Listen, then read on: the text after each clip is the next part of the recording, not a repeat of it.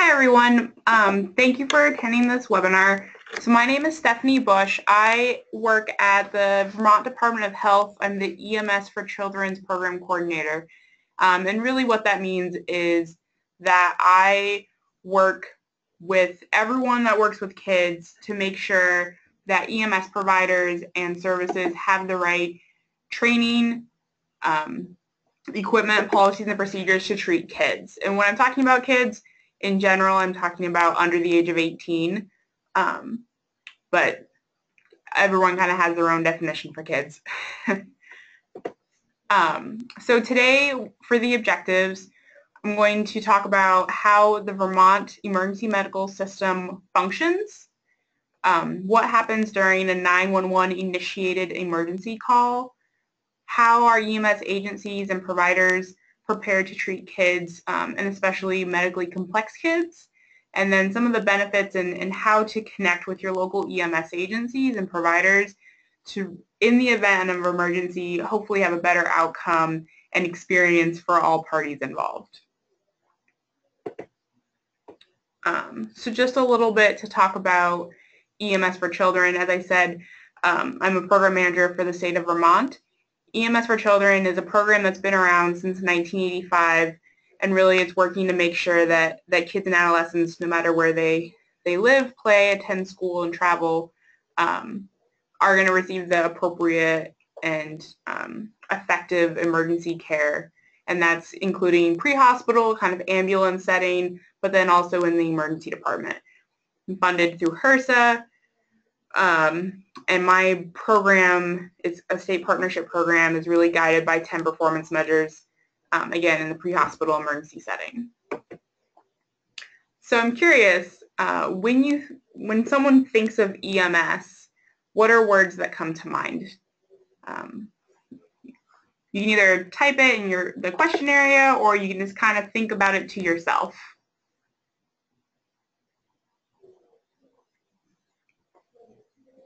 So for a lot of people, uh, when we talk about EMS, a lot of um, lay people or common, um, the kind of common audience, they hear EMS and some words that come to mind are first responders or medics, EMTs, paramedics.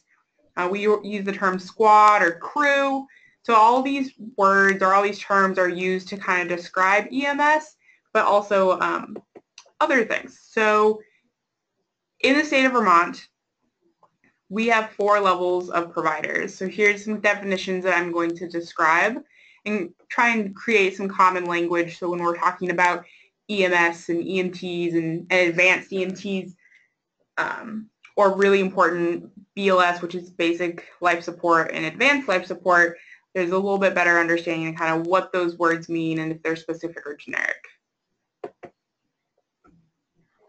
So I use the term EMS often, um, and really that stands for is Emergency Medical Services. Most people, when they're talking about EMS, they're generally talking about the pre-hospital setting. So that's, um, we'll get into first response and ambulances. So that's out of the hospital, um, on scene, in a nursing home, kind of whatever, wherever the scene is, that's pre-hospital EMS. EMS also encompasses the emergency department. It's just kind of a definitive care um, extension of EMS. Um, in the state of Vermont, um, EMS providers are medically trained providers that are trained in pre-hospital emergency care. There's four levels. Um, and that's different in different states. Um, this four-level version or system is um, increasing on the national scale but sometimes you'll also hear people talk about EMTIs, which are intermediates. You'll hear um, there used to be EMTDs, which were EMT defibrillators. So when um, AEDs came out in the beginning, you had to get this special training of how to do use an AED, and then you got a D on your patch. Um, but so currently in Vermont, we have four levels.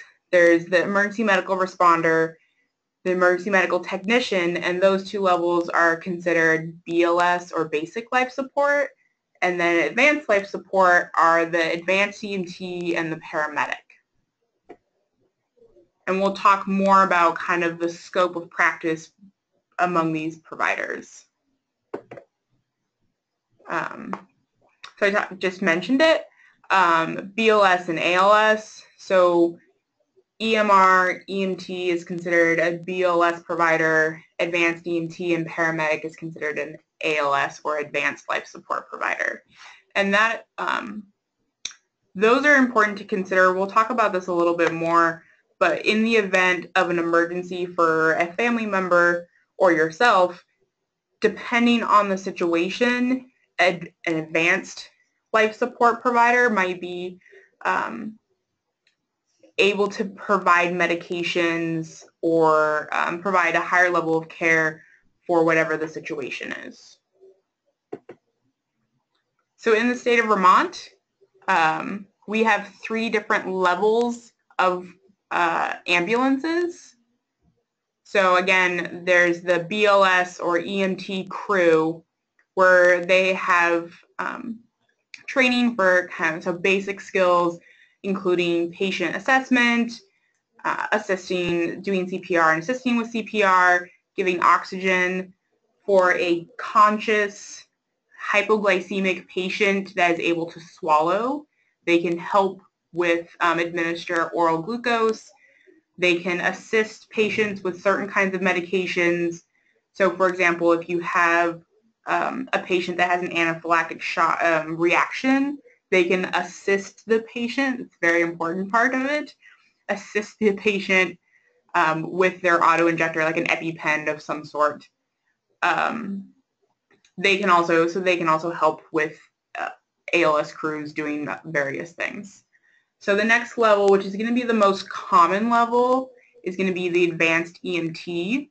So they have additional training and they have a wider scope of practice. So they can start IVs, they can administer some types of medication um, beyond what a, an EMT can.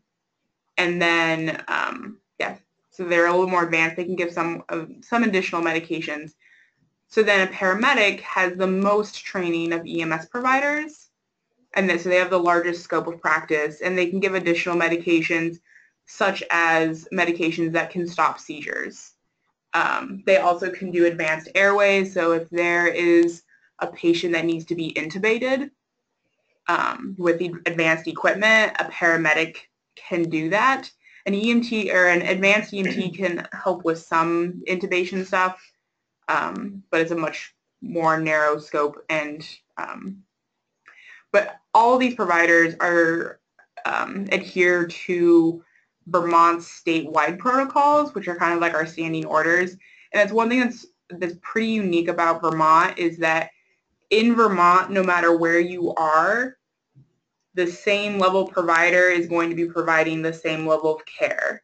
Um, so in places such as Texas, you might have, if you need to be intubated, if you're in one town, you might get intubated by an EMT or by um, a paramedic or maybe an, um, a supervising paramedic, so someone with higher level of care and more experience. Or you could be in a different town where an advanced EMT is allowed to intubate. Oh, um, then for clarification, an intubation is when there is an, an issue with someone's airway, they are having difficulty breathing and actually need to have some kind of medical equipment that's actually in, inserted and put into their mouth and down to their lungs so they are able to breathe. So um, if they don't have, if they aren't able to breathe on their own for some reason, we can we have medical equipment that can protect their airway and provide um, oxygen to them. Something you don't want to screw up. um, yeah. So this, so levels of care, and, and I realize this is a lot of information that I'm throwing at people.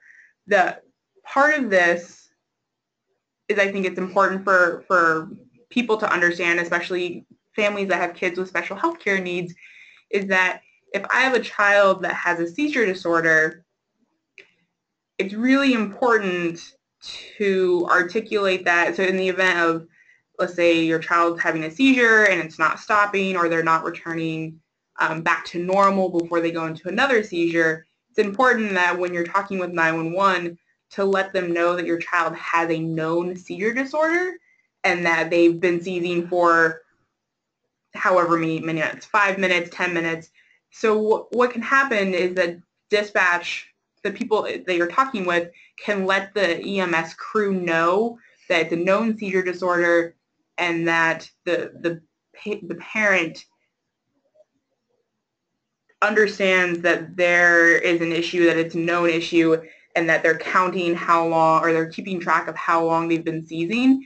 And that way that the crew, if possible, they can get maybe a paramedic on board sooner and activate those additional resources so a paramedic can come and help give medication to stop those seizures.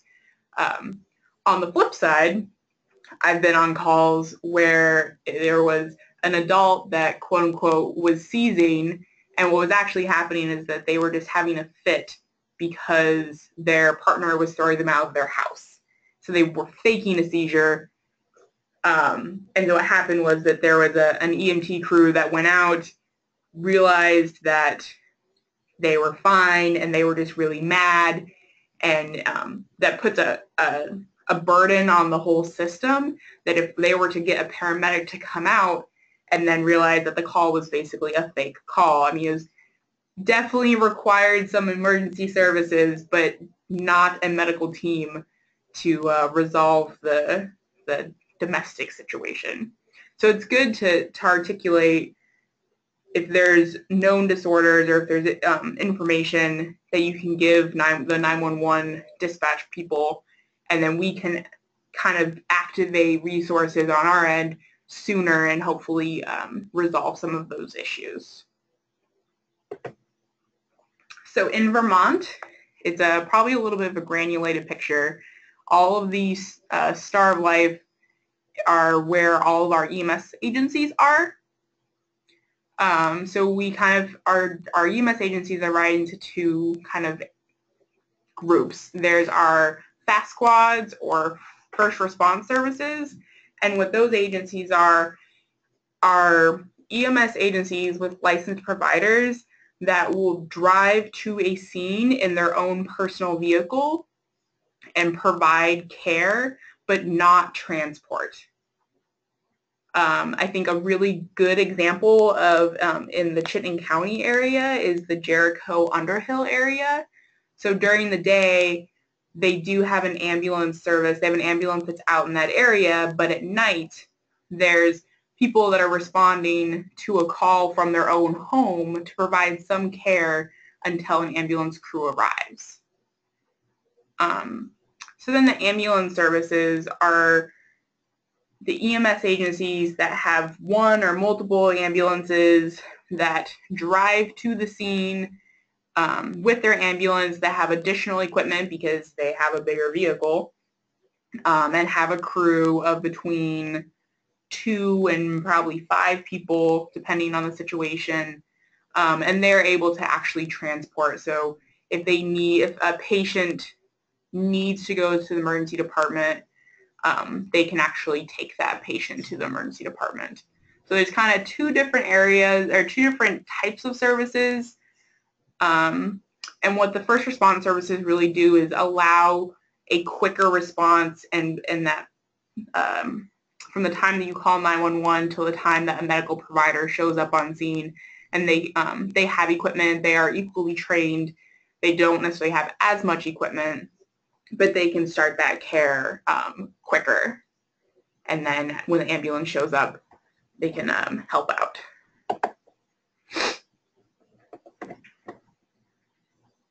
Um, there is a link, and I think we could probably um, send like a separate link to so people service people can find out which service they um, run with. Excuse me, I think I'm getting allergies.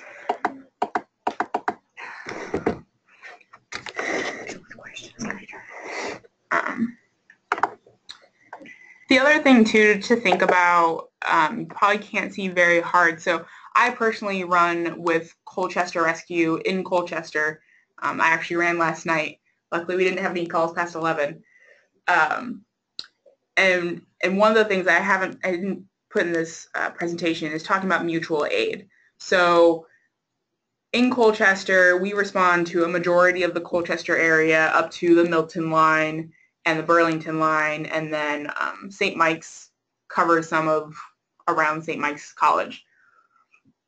When we are out on a call, our mutual aid services will respond to a call within our, our area. So if, for example, we have to go to the Price Chopper in Colchester to respond to someone that slipped and fell in the um, vegetable area, and then we have another call in Mallett's Bay, which is also our area, then Essex or St. Mike's Rescue will come into our service area and provide care um, because we're on a different call.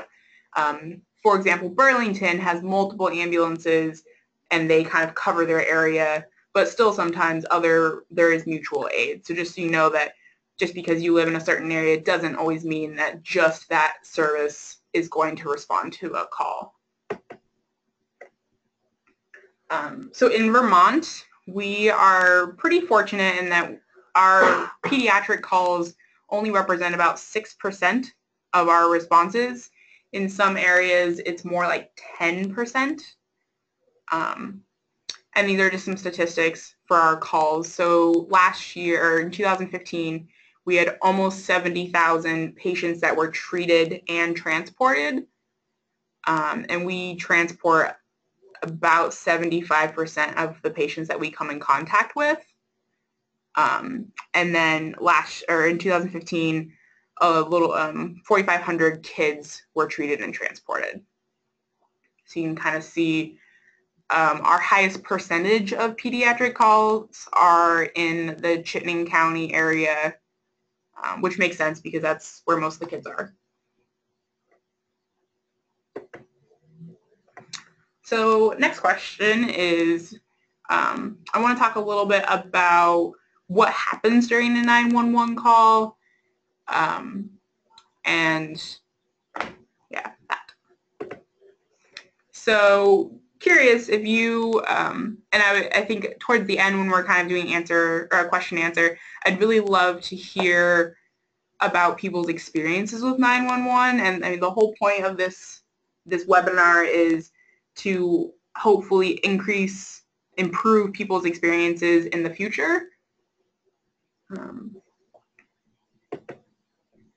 so during a 911 initiated call, um, there is a point where either a parent or a family member where 911 is determined that needs to be um, utilized.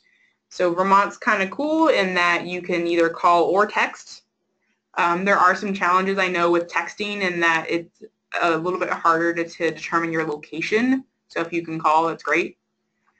It goes to one of our PSAP centers. Um, don't ask me what PSAP stands for. It's some kind of a switchboard. Um, and there's several of them throughout the state of Vermont.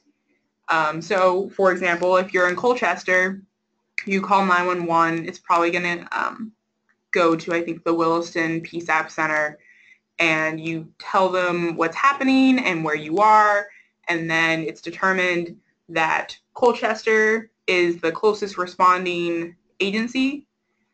Then our local dispatch, which happens to be at the Colchester Police Station, would then dispatch us and whatever resources that were needed. So whether it's um, police or fire to respond to whatever that scene is. Uh, we respond and then we make um, contact with the patient.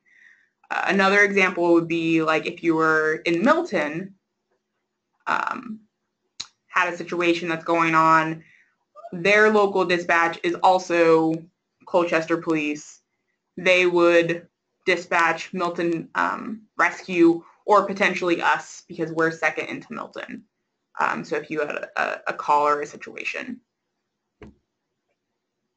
a lot, I think a lot of people don't necessarily know that there's a difference between the, the person that you're initially talking to on the 911 person and dispatch. So what can happen sometimes is information doesn't always get relayed. Um, so it's it it can be super important to try and provide as much information as you can so then that information can get relayed to dispatch and then to us.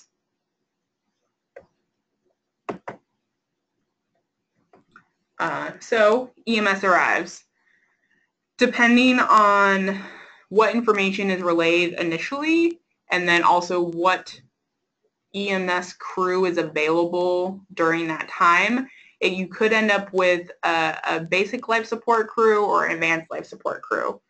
Um, so for example, I know that AmCare, which covers the St. Albans area, they almost always have an ALS crew, so either an, an advanced EMT or a paramedic that's on their with their service. Um, there are other areas where they really only function as a basic life support crew, which isn't a bad thing. It just um, it's dependent on what their agencies, what they're licensed at, and then what kind of providers they have.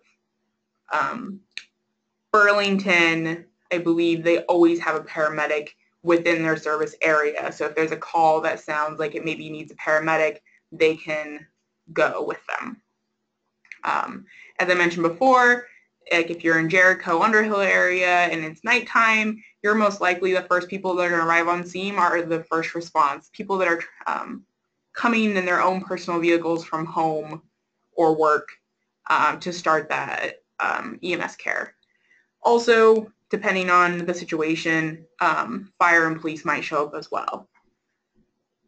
Some of the other things too that I'm not sure people's experience is that there's kind of two different things. So there's some people that will stay on scene a little bit longer, especially like if they're, um, for example, a hypoglycemic patient that it's actually found that it's better to stay on scene and try and get their blood sugar to go up a little bit. If they're conscious and able to swallow, then you can stay on scene with them, give them oral glucose, get them drinking orange juice with sugar in it, which sounds really gross, but it's really important. um, or is it like a, a really life-threatening situation? Um, you cut your foot off and EMS can control the bleeding, but you need to get to the hospital. You need to get there pretty quickly. They're going to transport uh, more quickly. Or um, sometimes if we have patients that are difficulty breathing, we can try and stay on scene for a little bit, get them some oxygen, try and get their um, their O2 levels to go up, and then make the decision of do we need to transport or not. And that's one of the things I'm not sure everyone knows just because you call 911, I think hypoglycemic uh, patients are a really good example. Someone is a diabetic, they take their insulin, and then instead of eating, maybe they take a nap, or they don't feel well, and so they don't eat as much, and so they're they become hypoglycemic. 911's called. We stay on. I remember a call where we stayed on scene for 45 minutes, got the patient's blood sugar up, they were with family that could monitor them throughout the night. They didn't need to be transported. They just had a, made a mistake, took their insulin, didn't eat, crashed, couldn't get back up. Um, they didn't need to be transported. They were kind of, their partner was watching them for the rest of the night. It was fine. Versus a diabetic patient that took insulin and is maybe sick, their body's not processing the blood sugar like it's supposed to, and maybe they need to come into the emergency department to be looked at, have some additional tests.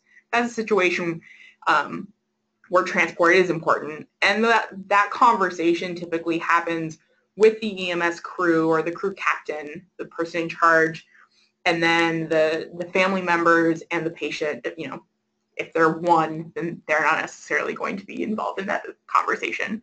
Um, but so it's a, it's a conversation and a decision made with everyone. Sometimes we can get doctors on um, on the phone to have conversations and figure out what we need to do um, to help make that the best decision for the patient. Um, so I think a, a, good question is how are EMS providers uh, prepared to treat kids, um, specifically medically complex kids? Um, there's a wide variety of training depending on what level of provider um, the EMS provider is. There's a number of, so paramedics typically go to about a full year of training um, before, and then they test and whatnot to become paramedics. Uh, an EMT and EMR, it's about uh, one semester of training. So there's initial training where we learn about treating pediatrics and then kind of the general term of special healthcare needs and then also to maintain our licenses, like a lot of nurses and doctors have to do, we have continuing education requirements. Um, in the state of Vermont, some of our continuing education requirements does include special healthcare needs and pediatrics. Um, and what else would be? Um, behavioral emergencies, endocrine emergencies, um, Professionalism is also another category.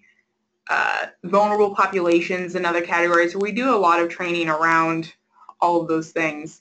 Um, we also have, like as I said previously, our statewide protocols, which really outline if there's, for example, a hypoglycemic patient, there's our standing orders right there. All ambulances and a bunch of providers have that printed um, protocols right there if they need to reference them. We also have a wide variety of equipment that's specialized for pediatrics. I'm not sure if you can see on the lower right-hand corner um, by the kid's foot, there's kind of like a green and orange and a blue strip. And what that is is actually a length um, weight-based measuring system. So for a quote-unquote average kid, that is so many inches long, they're going to be approximately so many kilograms, in which case when people are giving medication, that's a factor they need to consider. Beyond my scope, because I can't really give any medications, but advanced EMTs and paramedics um, can use the, that equipment uh, to determine what, how much medication to give. Um, and a big piece too is is just experience. Uh, the more that people interact with kids and specifically medically complex kids, the more comfortable they're going to be. Um, it's one thing to talk about how to t- check the vital signs of a two-year-old and the kind of the theory behind it, and then it's another thing to accidentally say, can I take your blood pressure? And kids have no idea what that means and so they can freak out. And then they also the other thing too is you can say no. And you're like, well, it's actually not an option. I need to check it.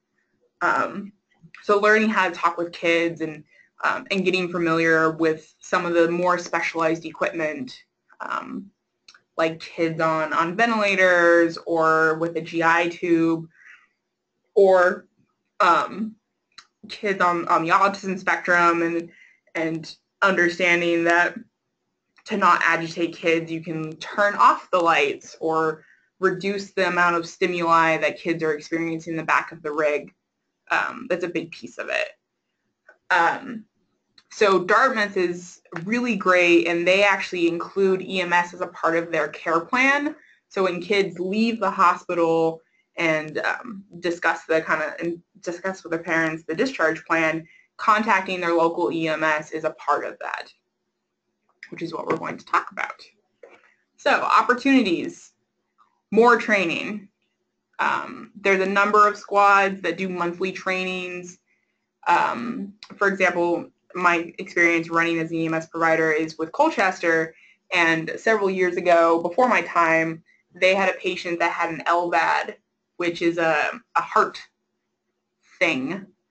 Um, and the, the patient that lived in that community and their care team actually came to Colchester Rescue and they did a training on that kind of equipment. So one of the really interesting things about LVADs is that those patients don't have pulses.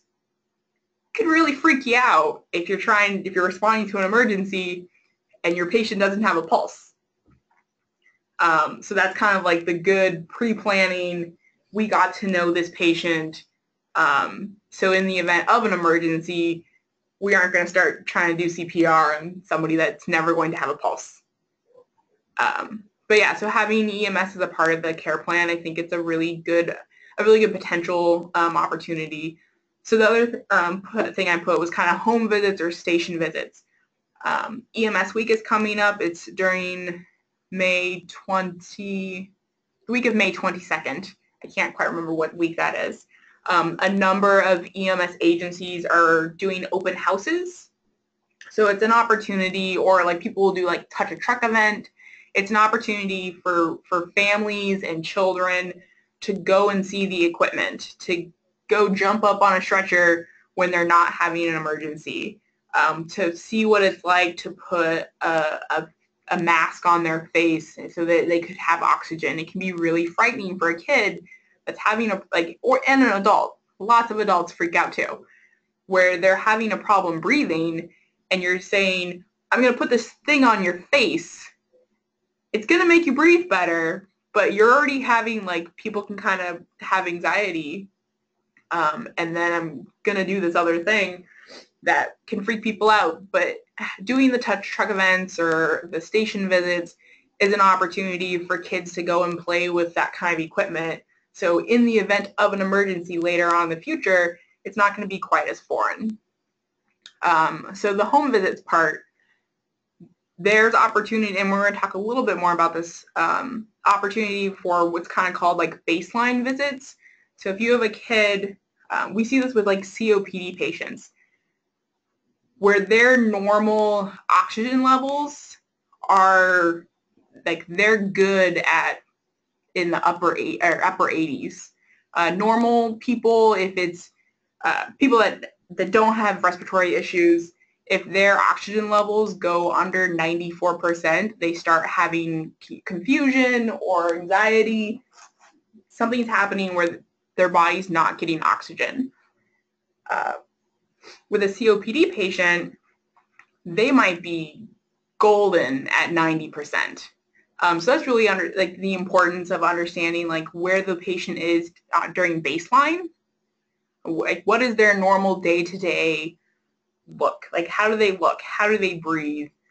Um, and understanding that uh, little kids are very different, um, especially kids that have medically like that are medically complex. You know, maybe their normal is something that looks very different than kind of just everyday person.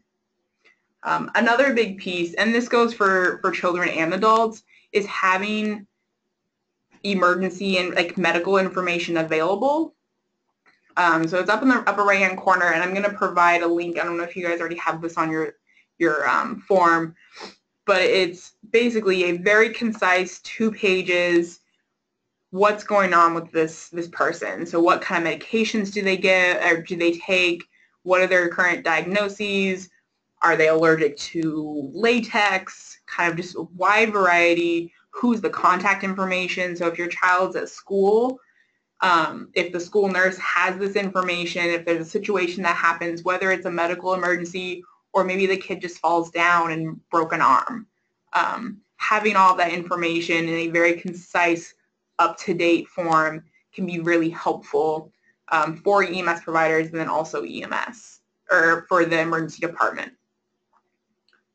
Um, also, I'll just real quick say, so in the middle, there's, uh, I, I talked about patient assessment, and with pediatrics, we really talk about the pediatric assessment triangle, which the three pieces of it are appearance, uh, work of breathing, and um, circulation to skin. So in general, does this kid look sick? Um, that first impression, you walk into the room and you see a kid and they look really sick, we encourage providers to to um, kind of go with their gut initially because kids will do really really well until they crash. Um, so connecting, I talked about a little bit already, so connecting with your local EMS agency. One of the big pieces of it is planning. Um, so if you have a, a, a kid or, or even just a family member that has specialized equipment, if they are dependent on equipment, planning for, you know, in the event of emergency, how are we going to transport this kid safely to the emergency department? If they have a big battery pack that goes with them, how are we going to transport that with the child? Um, thinking about in the event of transporting family members, is there a way that, um, especially with kids, we often will welcome parents to come with us to ride in the back of the ambulance. It really helps the anxiety of the family members, anxiety of the child, anxiety of everybody. Um, if there's that that special that care provider that really knows their kid. Um, so up in the upper left-hand corner, kid playing with a teddy bear and the stethoscope.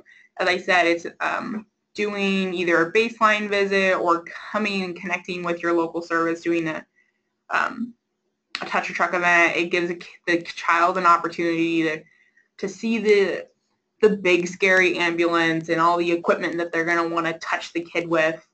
Um, and hopefully we'll reduce some anxiety levels.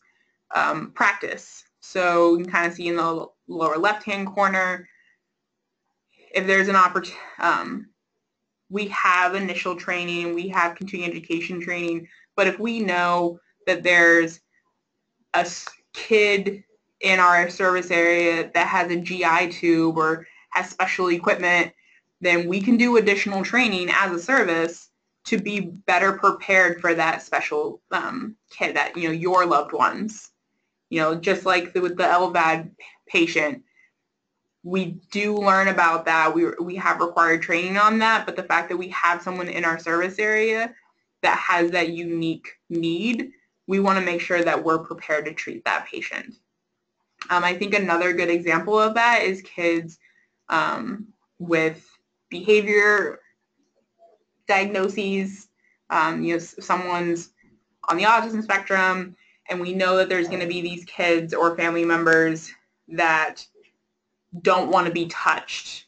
Um, that there's a certain way that we can approach them that won't aggravate them and have, like I said, a better outcome for everybody, then we can be better prepared um, and also know the part the players that are involved.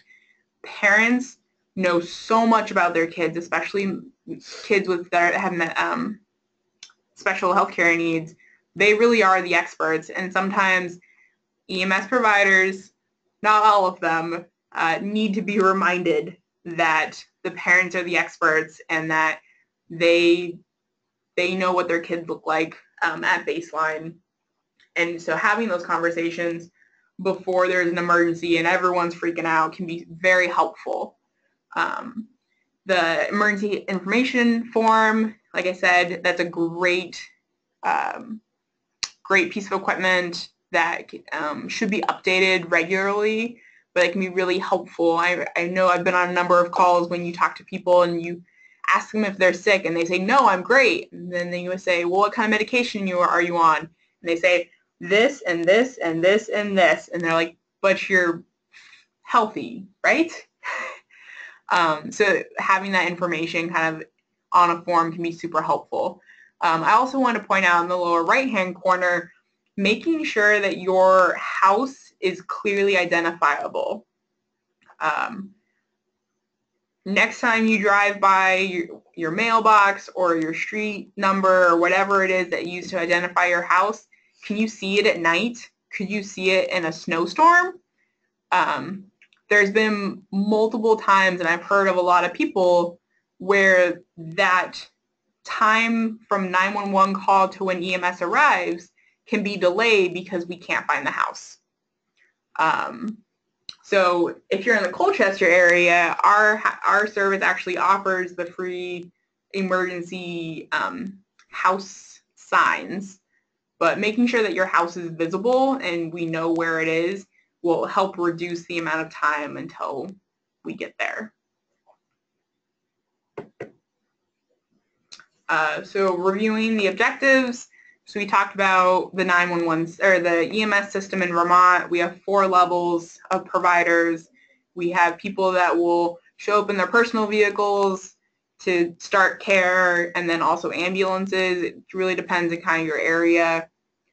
Um, what happens during a 911 call, why it's important to provide inform like accurate information to the 911 dispatcher so we can um, start start activating the resources needed. Um, EMS agencies and providers are prepared to treat kids and medically complex kids, but there's always more opportunities to learn um, and the benefit and how to connect with their local EMS agencies.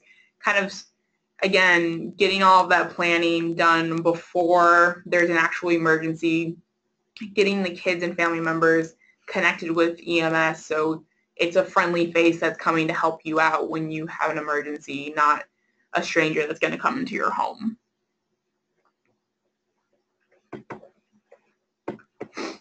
And I know we had some questions.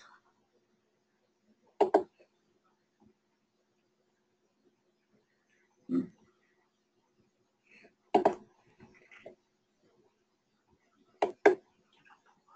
You pull that bar down?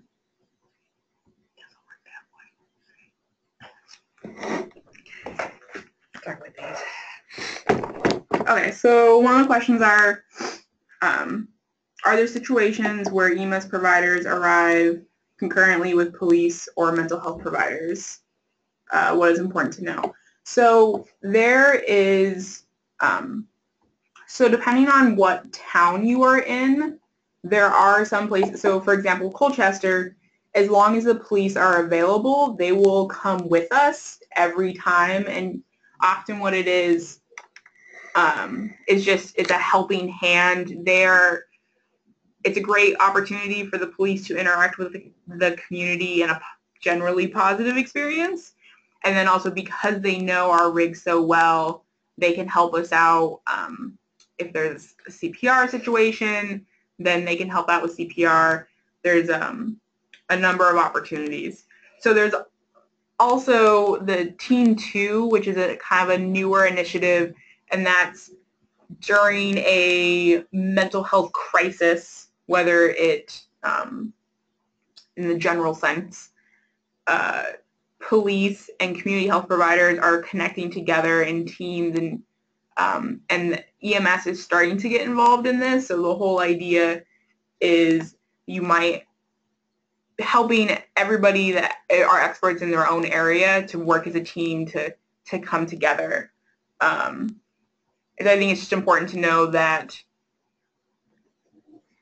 um, it might be a lot of people, which and I think thinking of like if someone doesn't do so well with lots of like a no, a crowd, that might be something to think about. And um, again, connecting with with people beforehand. So say, okay, well, here's my family member does isn't going to do well with 10 people around them. How can we limit that um, that stimulus?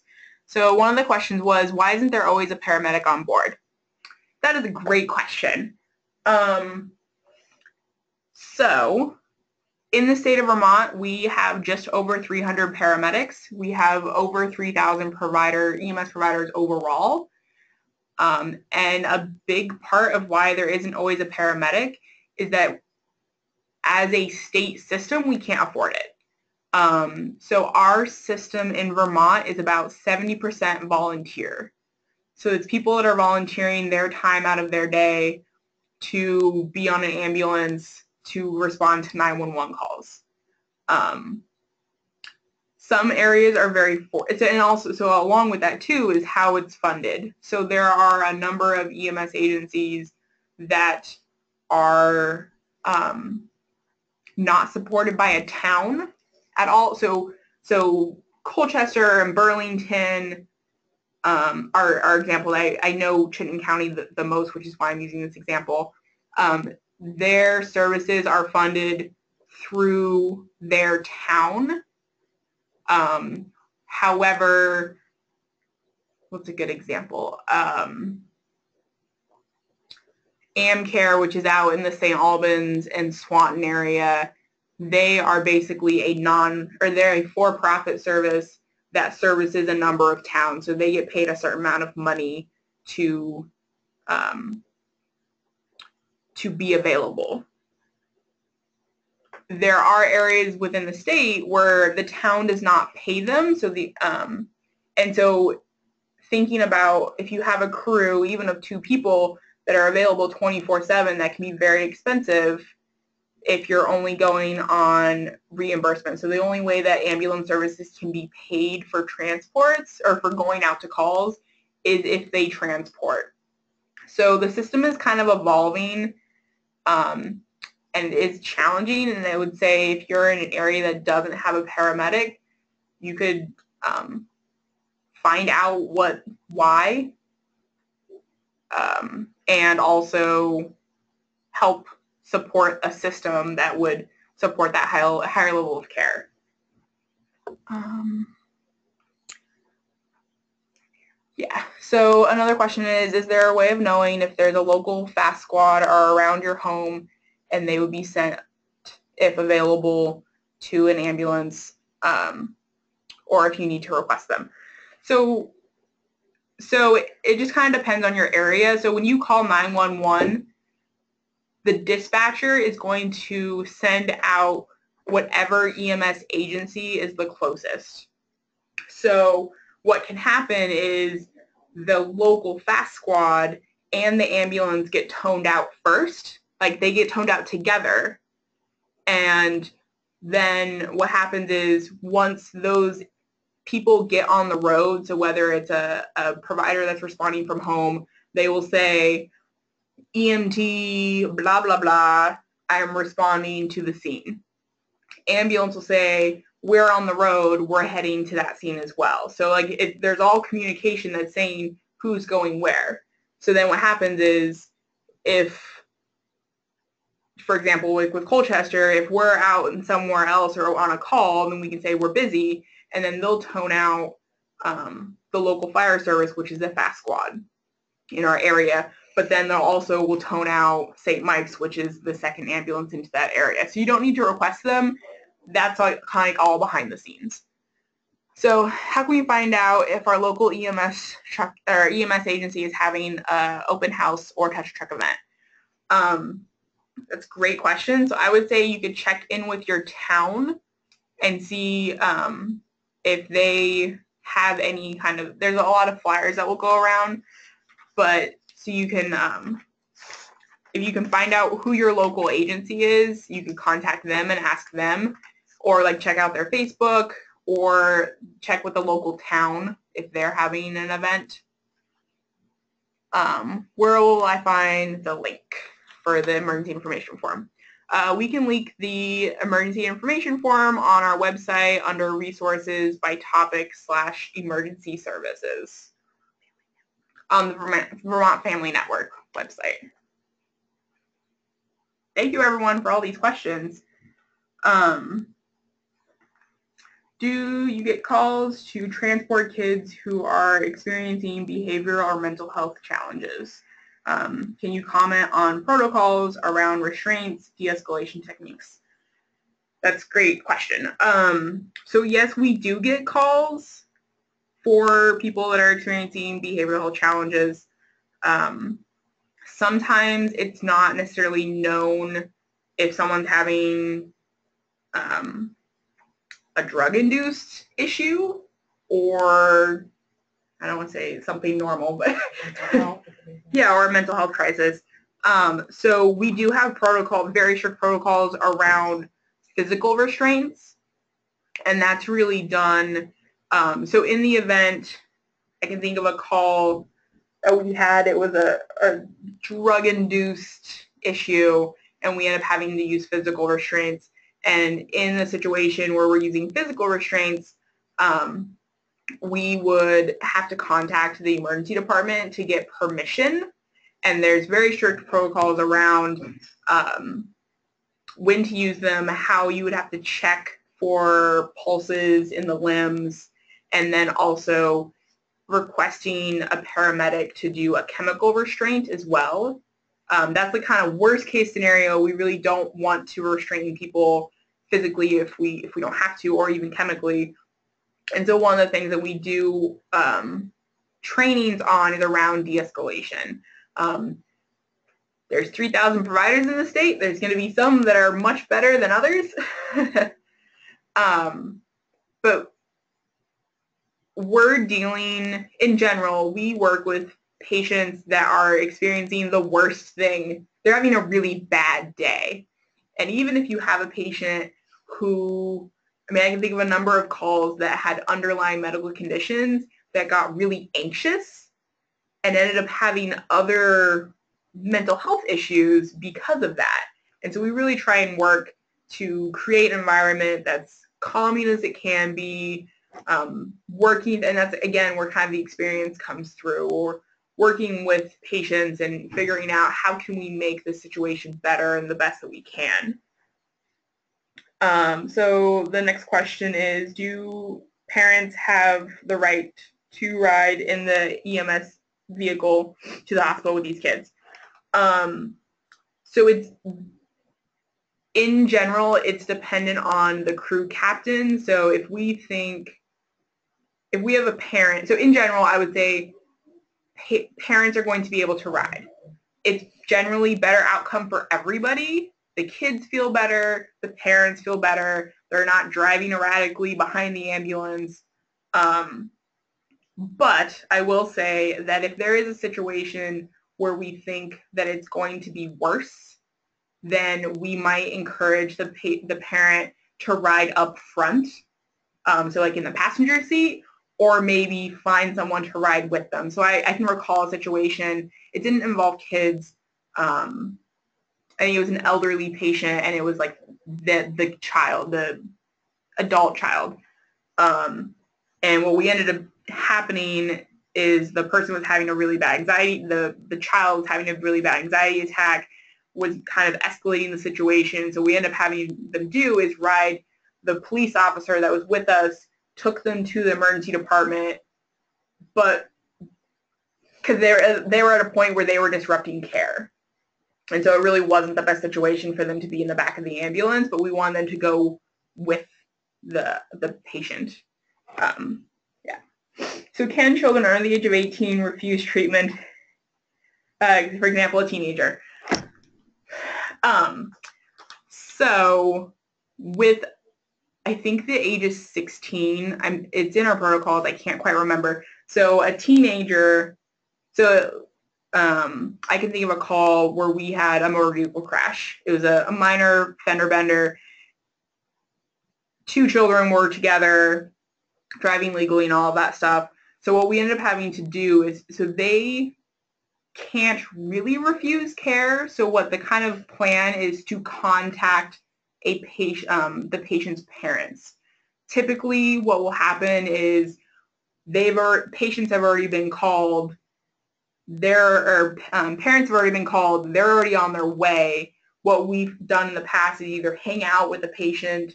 Um, so maybe the the you know they have a couple cuts and bruises on their face they don't need to be transported via ambulance, but they, you know, the, but their parents are going to come pick them up and then take them to the emergency department. One will either will wait with them, we'll have the police wait with them, or um, what we what allows what our protocol allows us to do is to contact them via phone and get permission to um, basically refuse care. Uh, having said that, if we had a patient, a, a teenager that had a, a serious injury or illness, we would probably either um, encourage them very strongly.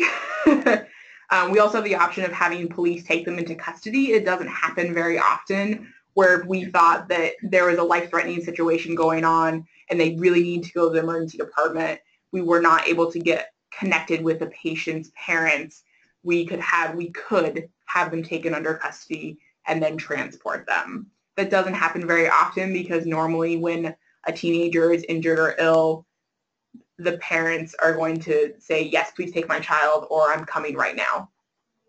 Um, we are also, I would say that too, we are also mandatory reporters. So if there are situations that are strange or raise red flags. Um, I would say in general, most providers will advocate for the patient um, and whether that is no, we need to transport them and getting other people involved or making a report later on um, to make sure that the patient is well cared for. And that's elderly and also kids.